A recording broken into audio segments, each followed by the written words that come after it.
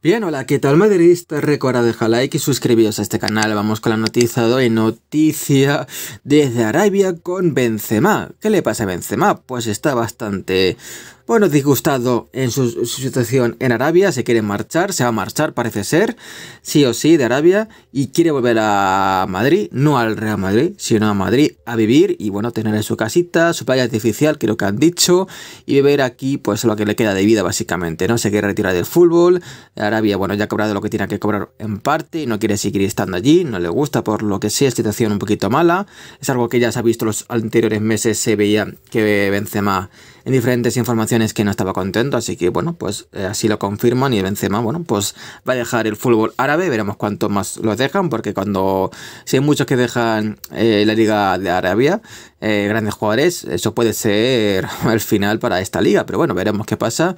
Y quiere volver al Real a Madrid, perdón, al Real Madrid, ¿no? Bueno, puede volver a visitar mucho al Real Madrid, a sus compañeros, por supuesto, pero para jugar, obviamente, ya no va a poder. Así que bueno, que le vaya bien a Benzema.